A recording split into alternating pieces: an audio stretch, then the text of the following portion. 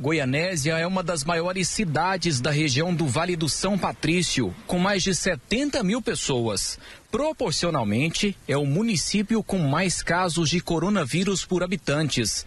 29 pessoas testaram positivo para a doença e três morreram por Covid-19.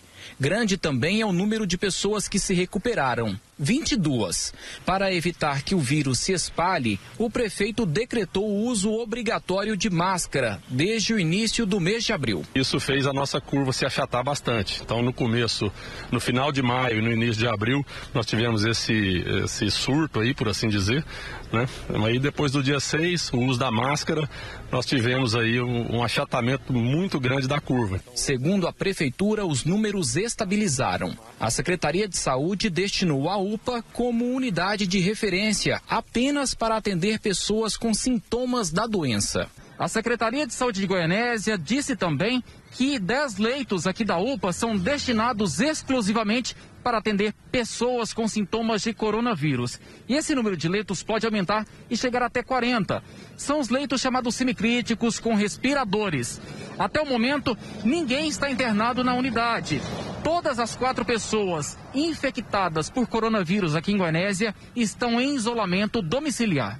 Segundo o secretário de Saúde, o funcionamento das unidades da rede pública foi adaptado para dar mais agilidade no atendimento e triagem dos casos suspeitos. Organizamos a rede ampliando o horário de atendimento de unidades básicas de saúde e não fechando para o almoço, que são os famosos postinhos.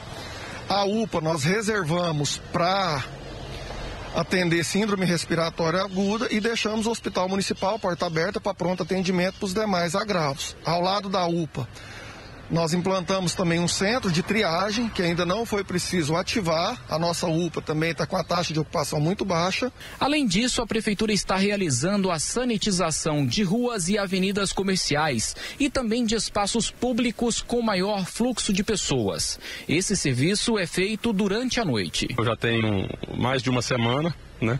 E a nossa Secretaria de Meio Ambiente que está responsável por isso. É um trator com um tanque que vai ali atrás do trator e mais quatro ou cinco funcionários que vão com bomba costal, né, usando hipoclorito misturado com água na proporção aí devidamente é, orientado pelos químicos e a gente tem feito essa, essa sanitização aí também.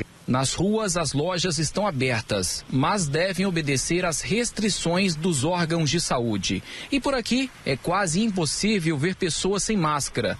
Depois de ficar quase um mês em quarentena, o seu Francisco, de 67 anos, voltou a trabalhar como taxista.